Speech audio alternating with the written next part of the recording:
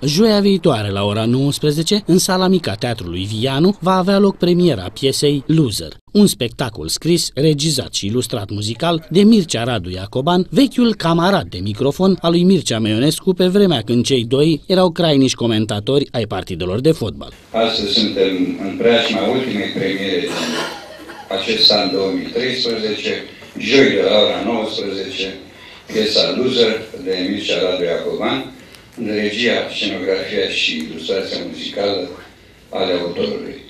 Am găsit aici un colectiv cu care mă înțeleg cu vorbe puține și un cuplu actoricesc de excepție, așa că mă declar mulțumit de ceea ce am putut să fac și să văd că s-a făcut până acum.